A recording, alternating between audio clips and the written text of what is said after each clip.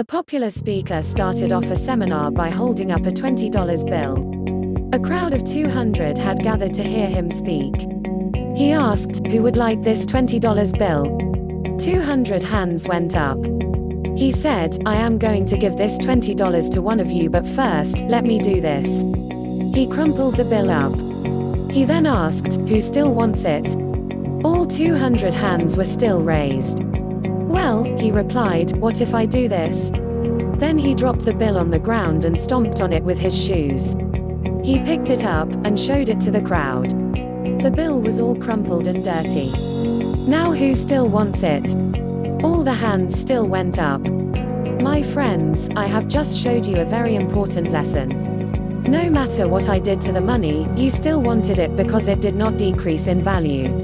It was still worth $20. Many times in our lives, life crumples us and grinds us into the dirt. We make bad decisions or deal with poor circumstances. We feel worthless. But no matter what has happened or what will happen, you will never lose your value. You are special, don't ever forget it.